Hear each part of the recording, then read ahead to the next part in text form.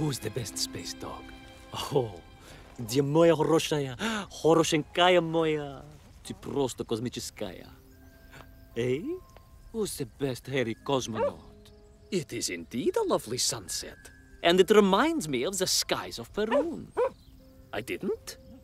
I never told you about the wonderful Sky City? Well, it was an extraordinary place, but one filled with dangers. Well, it might have been simple for you to cross it, but you were in a space capsule. I had to rely on my own two feet, my noshki. Feet which, I might add, had just crossed the interior, beaten the villain Toll, and helped inspire the Myank to a workers' revolution. Oh, that's all very easy for you to say, but your idea of civilized behavior is licking your own bottom in public. No. My adventures above the clouds were filled with untold dangers, death defying escapes, and some really quite extraordinarily large Bielaribica. And it happened like this.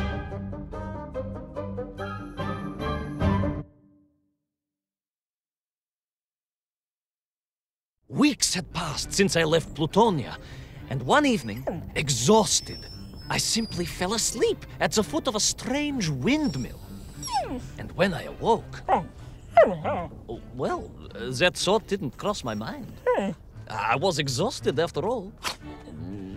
This is besides the point, my nosy canine friend. What matters is this. When I awoke, the windmill and the ground around it had been carried high into the air. What magic was this? Toza magia. Uh, as unlikely, perhaps, as a suitcase sized dog orbiting the center of the Earth for many years. Quite.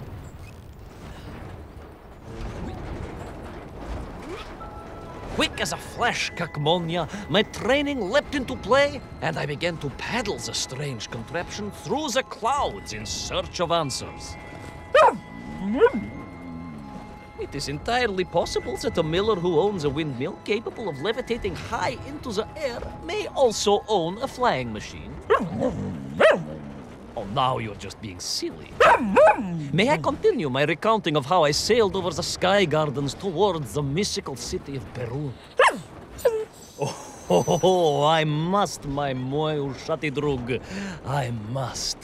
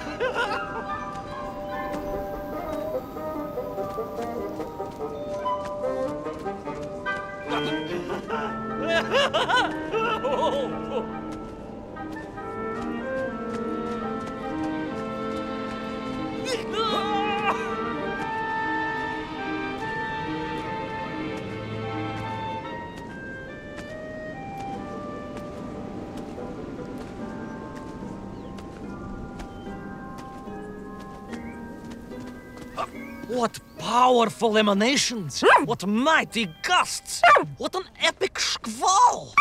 They reminded me hmm. of cousin Pavel, yes! But whereas his rearward zephyrs could curdle milk and tarnish the teaspoons, these magical wafts only serve to carry me aloft and onwards.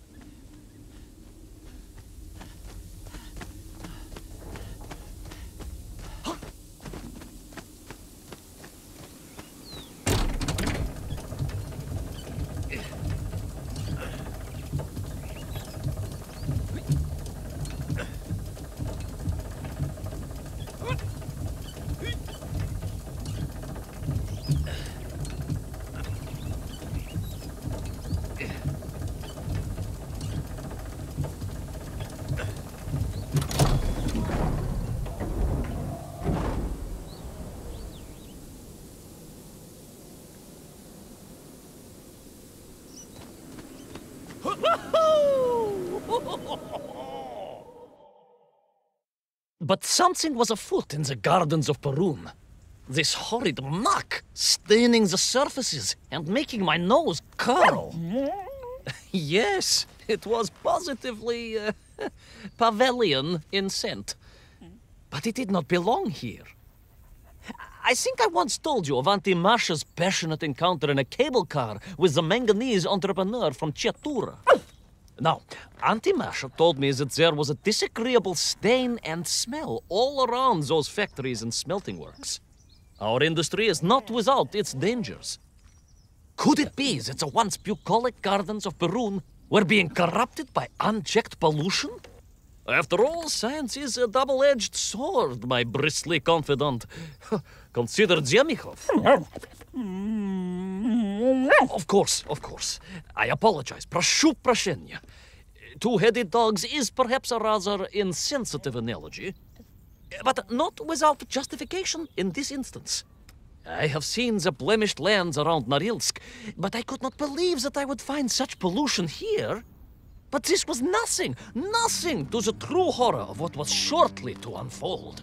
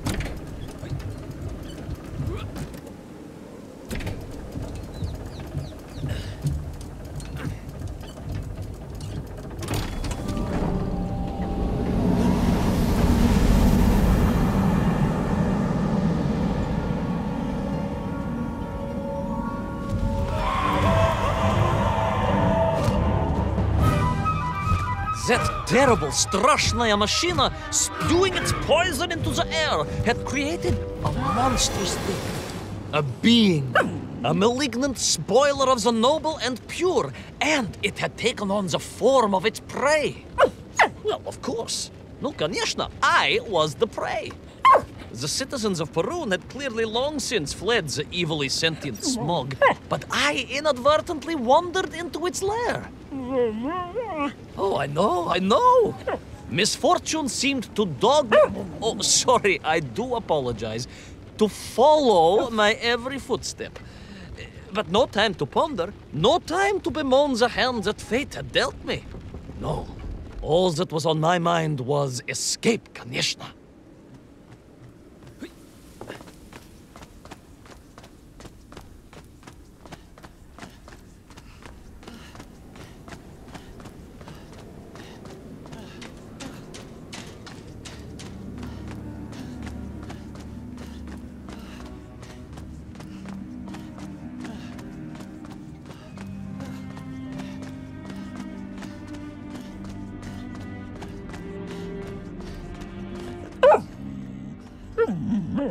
Yes, it was most interesting. Uh, The windmill seemed to be from an earlier age. Uh, Perhaps this was a devastating warning of the destructive power of unfettered industrialization. I most certainly had not forgotten about the windmills. I did not get carried away. You are missing the point. Perhaps because you are only a small dog. Oh, a brilliant, brave, spacefaring dog, of course, but a small Sabashka nonetheless. If you perhaps listened more and interrupted less, I am just getting to the explanation of the windmills.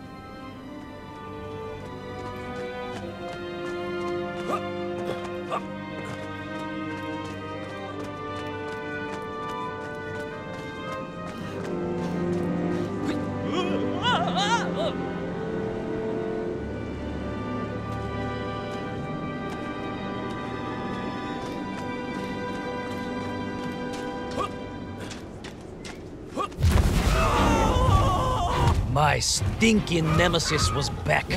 But more interesting was the change in the city. The windmills were fading out, clearly obsoleted, mothballed. relics. Instead, a sense of an obsession with power was apparent. Vast engines, terrible machines, ever hungry and reliant on the rapid consumption of fuel, the production of toxic fumes and choking gases. Pride, my pushisti compadre. Pride. Ambitia. Ambition. The dark side of science. Zemechov's had too many.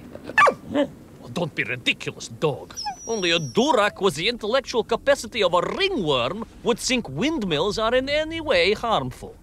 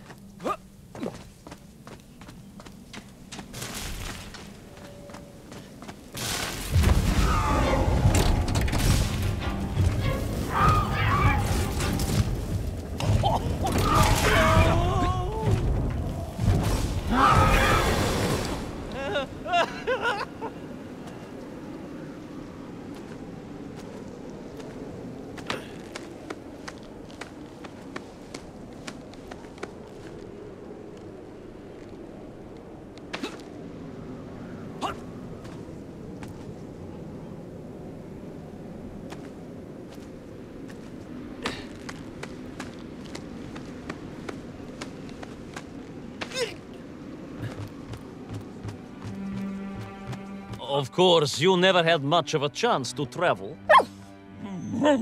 Sarcasm doesn't suit you. You don't have the tail for it.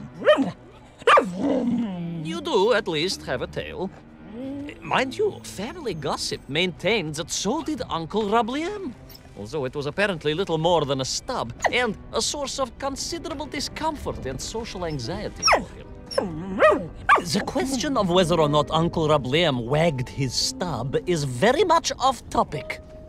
What I am trying to say is that your upbringing on the streets of Moscow meant you never saw the blackened fields of Magnitogorsk. The sacrifices made by the valiant citizens of that industrial heartland as they drowned in their own blight, even as they powered the state forwards. I was reminded of Magnitogorsk as I wandered through those fields of pipes and foundries. And I wept for the loss of innocence that so often goes hand in hand with progress.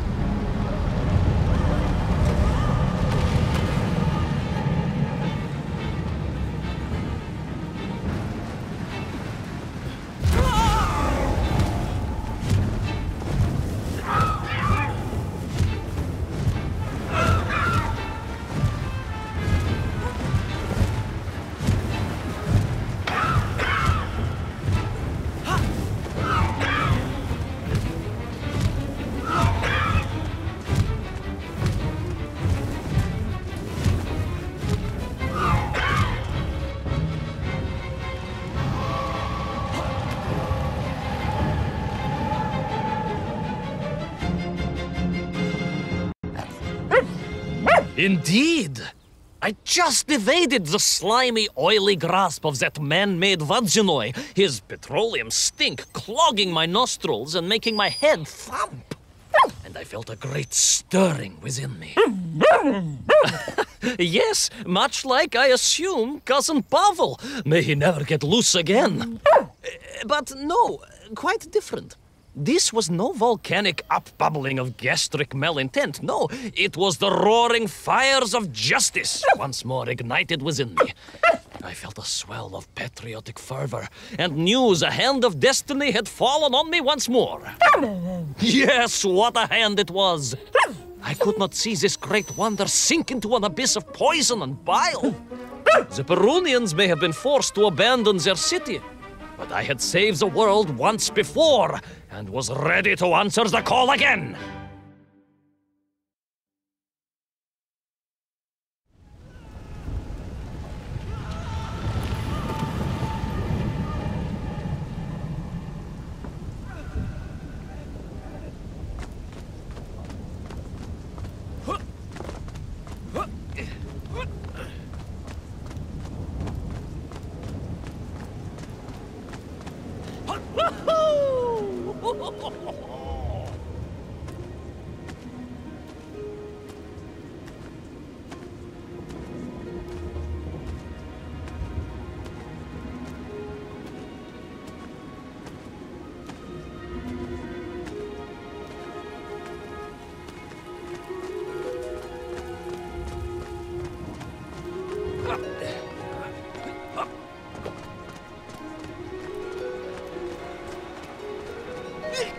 What strange metal Bielaribitsa clearly designed to swim through the air? I was amazed. And there was more. Beneath the fins, I spotted the apertures of hoses and was reminded of the time Auntie Agrafina devised a contraption to water all of her copious algae beds simultaneously with one flush of the toilet by a system of pipes and valves that ran throughout her house Можно так сказать, in a manner of speaking, yes. Her algae were most irrigated, although her neighbor Victor was washing his trousers in the sink at the time and was bruised quite severely about the face and body. But these were no ordinary flying metal fish. They were designed to expel air, fresh air, and push back the polluted clouds.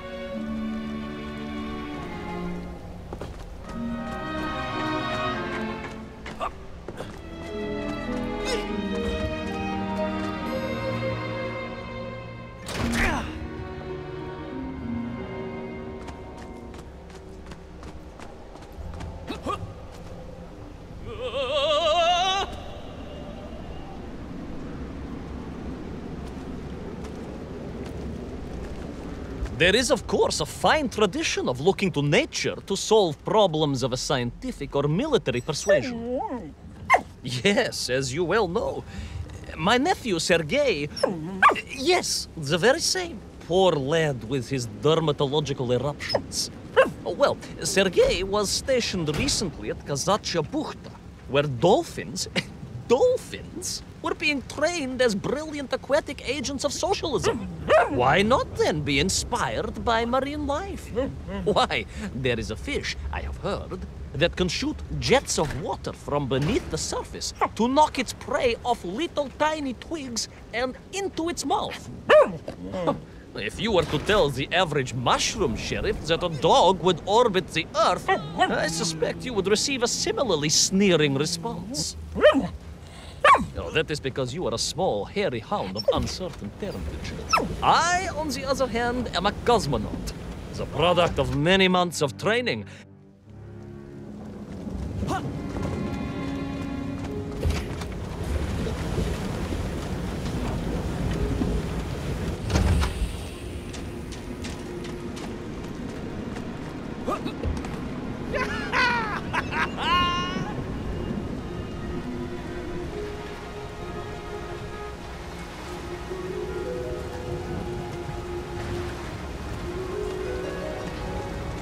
It made perfect sense, of course. The poisonous Duchata that engulfed Perun was like a nasty cold. And you know what to do with a cold to rid yourself of it. You may not get colds, but nor can you operate pea shelling machinery. So don't get ideas above your station. We humans, on the other hand, may produce up to 16 million perfectly unshelled peas in an average shift. But we are martyrs to our sinuses. But to clear them, aha! These are remedies we Russians have been perfecting over the long centuries of harsh winters. Onions. A quick snifter of onion oil will clear your head faster than a Pragviev can clear a hypothetical minefield. Yes, if I could find a functional fish, I would become that onion.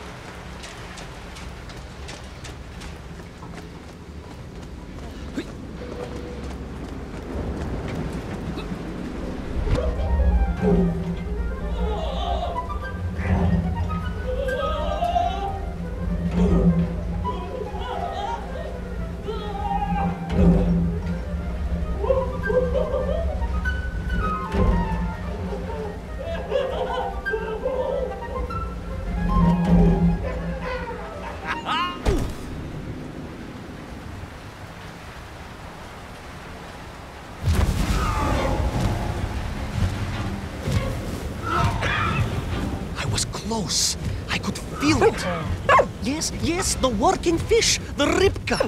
I could feel I was at the heart of Perun, and my noxious pursuer had renewed its chase with a terrible vigor.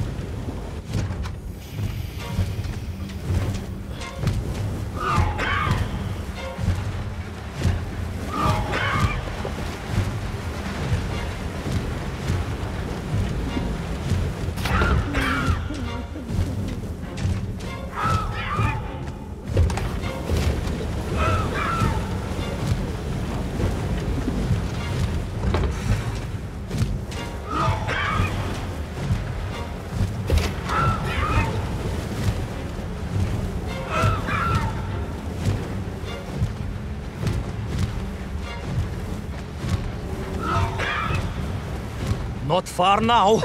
I just had to keep going, keep pushing. It's almost as if you knew, Pavel. Uncanny. it.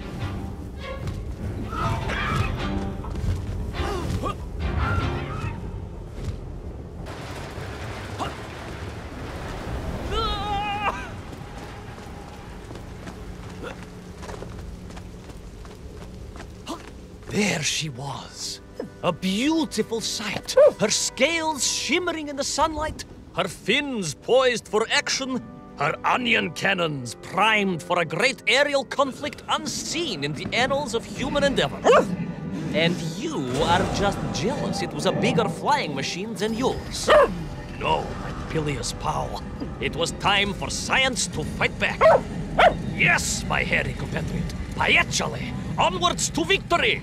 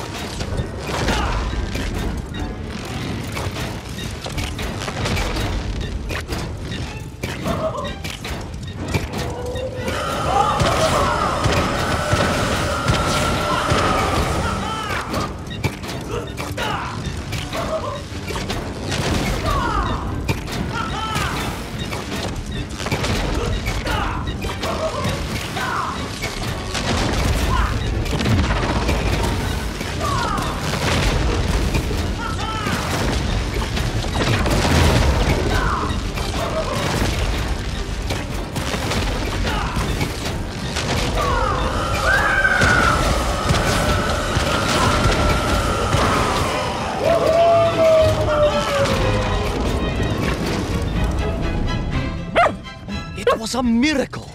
I found myself swooping through beautiful clear skies, the strange interior sunlight gleaming on the sides of my fishy vessel. I heard birds clear their little throats and begin their wondrous gvalt, the wind gently humming on the fins. And then, all of a sudden, under it all, well, you see, in my hurry, it didn't even occur to me to check how much fuel was carried in the strange craft. With a horrible splutter, the engines choked and died. And suddenly we were plummeting downwards towards our doom. I did not. A simple mistake that many have made. Why, my Aunt Agrafina met her untimely demise being late for a fungal sculpting seminar and making exactly the same error. Only, unfortunately, it left her stranded in sub zero temperatures just outside Pravachitsinski. She wasn't found until 18 years after her own funeral, but was perfectly preserved.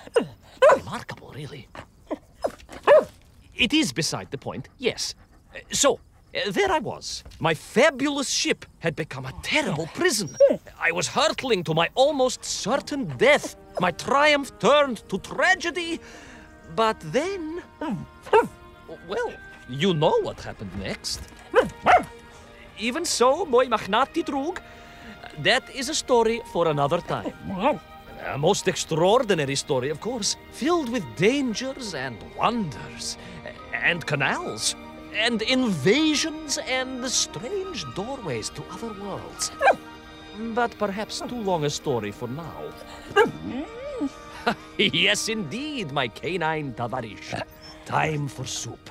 Auntie Agrafina's famous borscht. Coming? You know, I think you really did have the happier time in Perun. Eh, the benefits of being a suitcase sized dog in a little space machine, perhaps. Ah, yes, the correct term is indeed capsule, as I told the general once. Why, a letter just the other week? He's thinking of retiring, he says. Yes, and moving to Bashkiria to nurture bees. Oh. Bees? It Surprised me too. I thought if animal husbandry was to be his passion, it would be a large, manly animal like elk or bears or a caban. Perhaps the bees he is thinking of are particularly militaristic. or stingy, yes. Did you want bread with your soup? Hmm. In which case, there's half a tin of old beef you could also finish. Somewhat grey, but uh, uh, I'm sure it won't taste awful. yes, my four legged associate. Now, did I ever tell you the story of when Uncle Rablien got his stub ensnared in the seat of a wicker chair in the finest fish restaurant in the whole of Taliatsie?